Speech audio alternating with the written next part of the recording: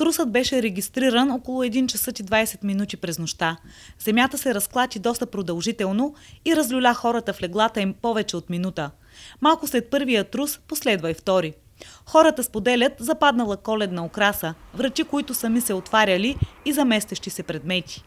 Най-сериозно трусът е бил усетен по високите етажи на блоковете в града.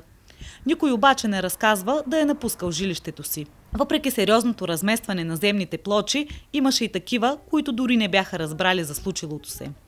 Усетих го съвсем леко, защото съм на първи етаж. За това дори се усъмних дали е земетресение или не.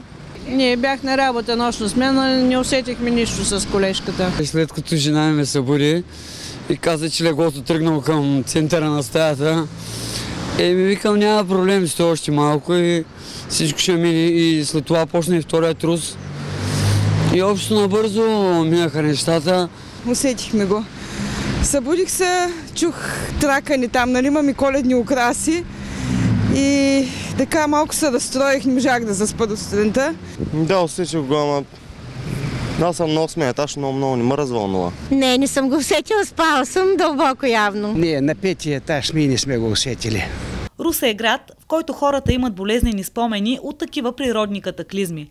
Мнозина си спомнят със страх за 4 март 1977 година, когато беше регистрирано най-силното в историята земетресение в Юго-Источна Европа. Тогава бедствието беше с магнитуд 7,2 по скалата на Рихтер, като епицентърът бе на дълбочина 94 км. Пагубни разрушения на над 8500 сгради и повече от 1600 жертви в Румъния и България. Планината Вранча е най-голямата сеизмична зона в района. В последните 70 години тук е имало 4 катастрофални земетресения.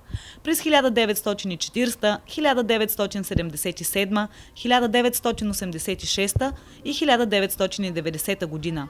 Най-мощното сред тях е това на 10 ноември 1940 година, което е било с магнитуд 7,7 по Рихтер.